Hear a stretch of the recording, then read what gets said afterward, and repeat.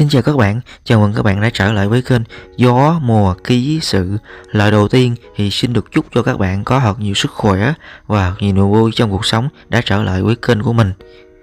Và những hình ảnh các bạn đang xem đây chính là cửa lấy ánh sáng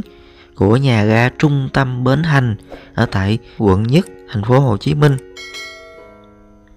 Thì ờ, sau một thời gian mình không có ra video ở tại khu vực này. Và hôm nay mình lại chia sẻ cập nhật cho bạn về cái hình ảnh mới nhất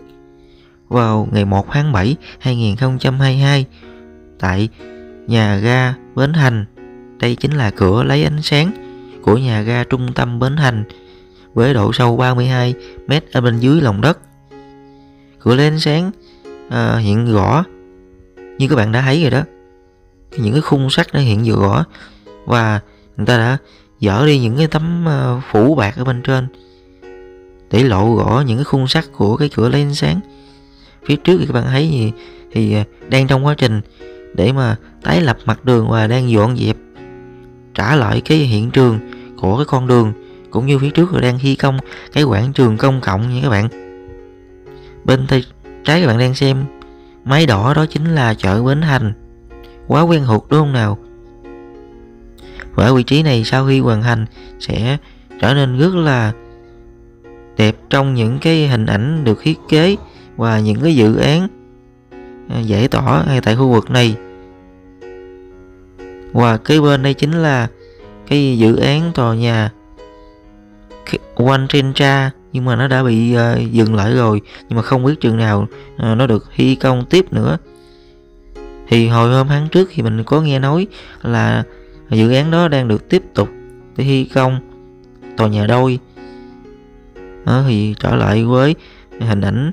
uh, thực tế ở trên cao trên kênh của mình hôm nay mình muốn chia sẻ cho các bạn thấy uh, tiến độ hiện tại của cái nhà ga trung tâm Bến Thành cũng như là đoạn đường khu vực của Nguyễn Huệ và đoạn đường khu vực của ngã tư Bách Tư đó.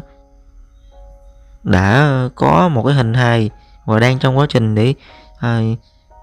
giải tỏa mặt bằng trả lại cái mặt bằng như trước nha các bạn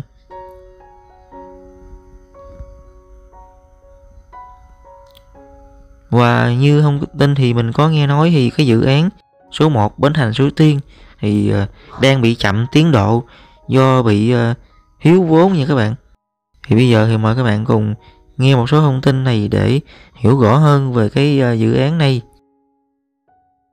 Dự án Metro Bến Thành Suối Tiên lại tiếp tục trễ hẹn Mặc dù đã hoàn thành khoảng 90% khối lượng và dự kiến sẽ vận hành thử ngay trong năm 2022, nhưng hiện nay dự án xây dựng tuyến metro số 1 Bến Thành Suối Tiên thành phố Hồ Chí Minh đang gặp rất nhiều khó khăn. Tình trạng chậm giải ngân nguồn vốn, nhân sự chưa ổn định, sự cố kỹ thuật khiến dự án có thể tiếp tục lùi thời gian vận hành. Công ty vận hành tuyến metro số 1 được thành lập năm 2015, tuy nhiên phải tới năm 2019 Công ty này mới bổ nhiệm giám đốc và bắt đầu đi vào hoạt động. Thực tế, tiến độ dự án Metro số 1 liên tục bị lùi và hiện đã chậm hơn rất nhiều so với kế hoạch khiến công ty quản lý vận hành Metro số 1 không có nguồn thu. Đáng chú ý có 58 lái tàu đã được đào tạo để vận hành tuyến metro này, nhưng nay đã bị tạm thôi việc cho dự án hoàn thành. Ngoài ra, hầu hết các nhân sự và nhân viên vận hành đều được đưa đi tham quan, học tập tại các đơn vị cung cấp đầu máy,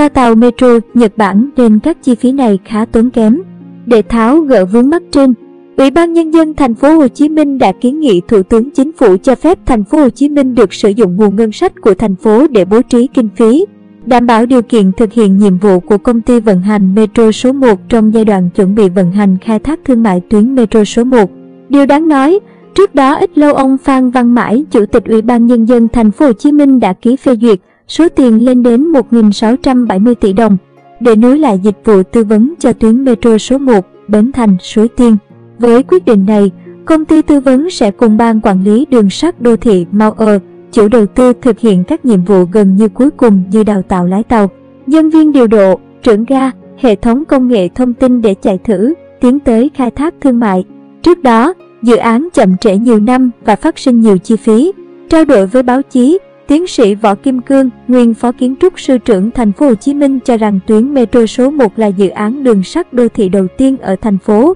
thực hiện trong bối cảnh nhiều chính sách, quy định thay đổi, phải nhiều lần điều chỉnh khiến công trình bị chậm tiến độ. Đây là bài học cho các dự án metro khác tuyến số 2, số 5 để tránh lặp lại những nút thắt tương tự. Tuy nhiên, không chỉ gặp khó khăn về nguồn vốn, thủ tục giải ngân vốn, dự án xây dựng tuyến metro số 1 còn đối mặt với nhiều sự cố kỹ thuật, như bị trộm đột nhập lấy đi hơn 13.000 khóa kẹp đã được lắp đặt vào đường ray để cố định với hệ thống vận hành. Đặc biệt, dù đã gần 2 năm trôi qua nhưng sự cố rơi các khối cao su làm đệm giữa các khối bê tông ở trụ cầu cạn của tuyến đường này vẫn chưa được xác định rõ ràng. Cụ thể, tháng 10 năm 2020, gối cao su dầm cầu cạn trụ Pi1410, đoạn gần ga công nghệ cao TP Thủ Đức bị rơi ra ngoài và sau đó thêm 5 gối cao su khác bị xê dịch khỏi vị trí, đến nay, vẫn chưa tìm ra nguyên nhân chính dẫn đến sự cố này thể, gói thầu số CP1A xây dựng đoạn ngầm từ nhà ga Bến Thành đến ga nhà HTP hiện đang thi công hoàn thiện khu vực ga Bến Thành, khu vực hầm đào hở cơ bản đã hoàn thành và đang thực hiện công tác tái lập bàn trả mặt bằng đường Lê Lợi, dự kiến ngày đến ngày 2 tháng 9 sẽ hoàn trả toàn bộ đường mặt đường Lê Lợi phục vụ giao thông.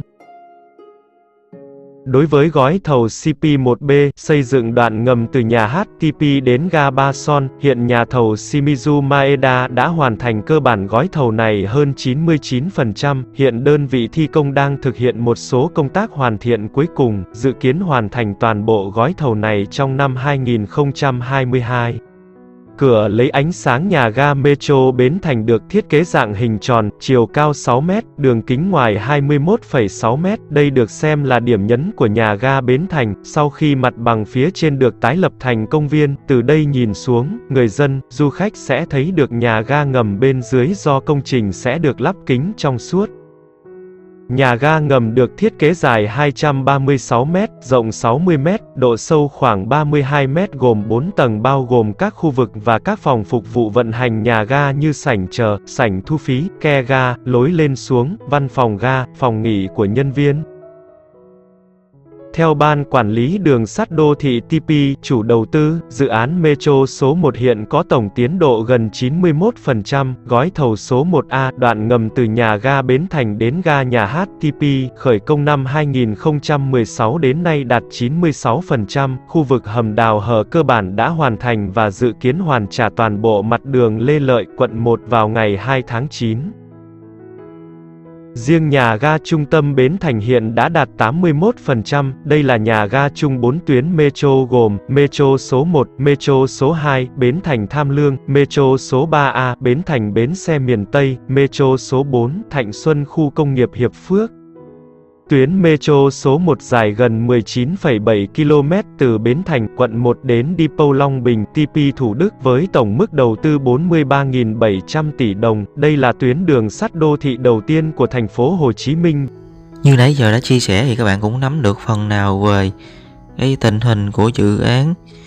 Metro số 1 Bến Thành Suối Tiên này. Và mời các bạn cùng xem tiếp cái tiến độ ở tại khu vực của nhà ga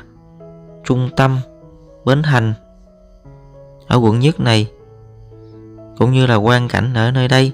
Thì các bạn nhớ bấm like trên video và đăng ký kênh ủng hộ mình nhé.